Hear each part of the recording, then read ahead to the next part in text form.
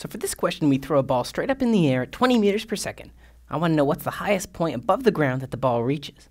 Now this question's tricky in several ways. Let's first try to identify our knowns, what was given to us. Well, we throw it straight up with 20 meters per second of velocity. That's got to be the initial velocity, because that's how fast it's going at the beginning of the problem. Now, since this is a problem that's taking place on Earth, and the object is in free motion, I of course know the acceleration is 10 meters per second squared. But then I'm sort of stuck. What is the highest point above the ground that the ball reaches? Well, highest point seems important, but I'm still a little confused, and without a picture, I'm not going to make much progress in this question. So let's draw a picture of what happens when you throw a ball straight in the air with some initial velocity.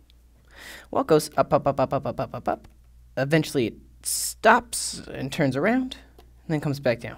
Ah, okay, so this highest point I can see is some sort of change in position. The problem gives me the initial velocity and I know the acceleration. I'll need one more piece of information if I'm going to solve for delta x. If you've been listening very carefully, I gave a hint. Which of these two variables do we actually know when the ball's at the top of its trajectory.